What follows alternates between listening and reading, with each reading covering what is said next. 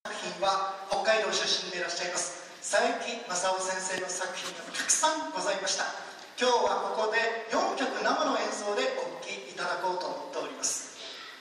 昭和44年に内山田博とクールファイブに提供いたしましてもう皆様おなじみの歌であります。今夜もどこかのお店でこの歌がきっと歌われているはずです。ではその作品からお聴きいただきましょう。この歌です。長崎は今日も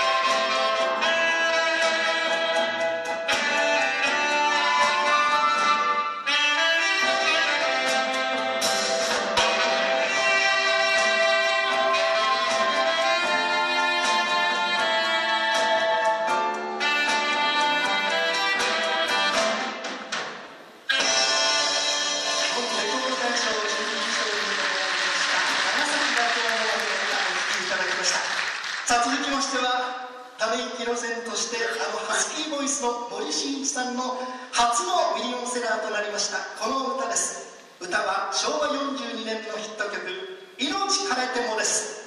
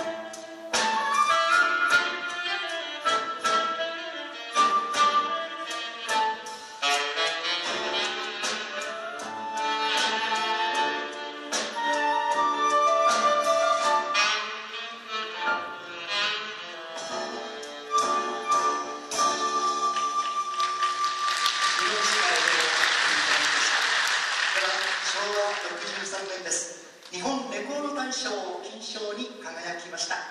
今や推しも推されもせぬ日本の歌謡界を代表する五木ひろしさんに提供したこの作品「港の五番町」です。